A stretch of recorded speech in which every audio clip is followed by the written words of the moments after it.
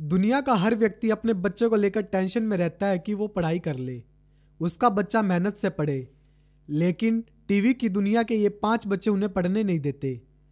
Cartoon चैनलों पर आने वाले कार्टून बच्चों में इतने लोकप्रिय है कि वो इनको देखे बिना खाना तक नहीं खाते। आज हम कार्टून की दुनिया के काल्पनिक पात्रों के बारे में बता रहे हैं, जो किसी बच्चे को टीवी की दुनिया से बाहर नहीं निकलने देना चाहते। कार्टून की दुनिया के काल्पनिक पात्र। सबसे पहले आता है छोटा भीम। कार्टून की दुनिया का छोटा भीम हर बच्चे की ज़ुबान पर रहता है। यह इतना प्रसिद्ध है कि हर बच्चे की ज़ुबान से इसकी कहानी सुनने को मिल जाती है।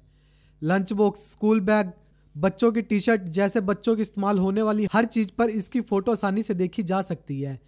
छोटे भीम के किरदार के रचयिता राजीव शुक्ला है। नंबर दो, नोबिता। बच्चों के बीच सबसे पसंद किया जाने वाला कार्टून डोरेमोन में नोबिता नामक पात्र के शरारती अंदाज को तो आपने भी अपने बच्चों के साथ देखा होगा। उसकी हरकतें जितना हंसाती है, उससे ज़्यादा भी उसकी आवाज़ गुदगुदाती है। नंबर तीन सिजुका डोरेमोन कार्टून सीरीज़ का ही दूसरा महत्वपूर्ण पात्र शिजुका है। नंबर चार, जियान। जियान भी किसी से कम नहीं है। यह भी डोरेमोन कार्टून का ही हिस्सा है। नंबर पाँच, डोरेमोन। डोरेमोन कार्टून का मुख्य किरदार डोरेमोन मूल रूप से जापानी कार्टून है। डोरेमोन को हिंदी अनुवाद करके भारत में प्रसारित किया जाता है। आवाजों के भारतीय जादूगर अपनी आवाज़ की जादू से बच्चों को खुद से जोड़ते हैं। कार्टून का बच्चों पर बहुत गहरा असर पड़ता है। समय समय पर इस पर पाबंदी के लिए आवाज़ें उठती रहती है। कार्टून के पात्र बच्चों को इतना प्रभावित करते हैं कि वो पढ़ने लिखने से दूर हो जाते हैं।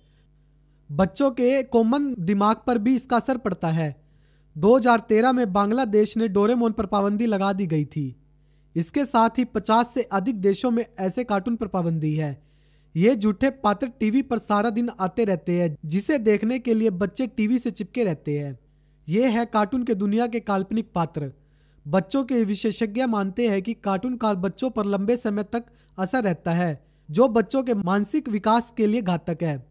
बच्चों की ऐसी स्थिति के लिए सिर्फ़ कार्टून चैनलों को दोष देना ठीक नहीं है। माँ बाप भी उतने ही जिम्मेदार है। समय की कमी और बच्चों के झंझट से बचने के लिए माँ बाप बच्चों को कार्टून के चैनलों की आदत लगा देते हैं। दोस्तों, कमेंट में ज़रूर बताइएगा कि आपके बचपन का सबसे अच्छा और फेवरेट कार्टून कौन सा था। और वीडियो देखने के लिए प्लीज़ मेरे चैनल को सब्सक्राइब करें और लाइक करें और बेल आइकन दबा करके आने वाली वीडियो का नोटिफिकेशन पाएँ।